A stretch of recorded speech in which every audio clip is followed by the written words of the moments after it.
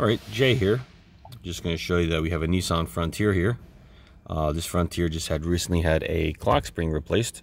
After you replace the clock spring, you have to do a steering angle sensor um, calibration.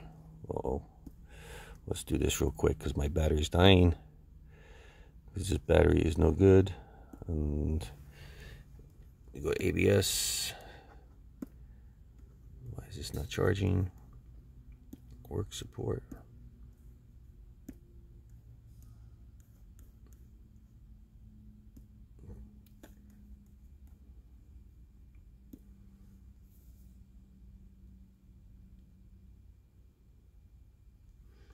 Adjustment complete.